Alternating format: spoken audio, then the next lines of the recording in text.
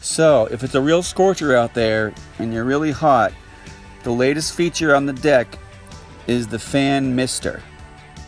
Right now we have the water turned on, so all you have to do is find this little valve and turn it on. Boom, you got a spritzer, a mister. Wonderful way to cool off. I will give you a fair warning, you might get a little wet if you leave it on too long. There is an option to turn it just halfway so it's not quite pumping out as much juice but you're still going to get wet after a while so you may want to only use it for a little bit but it certainly does cool you off. And last but not least if the fan doesn't turn on then the breaker tripped. And all you have to do is press that little reset button and you'll be good to go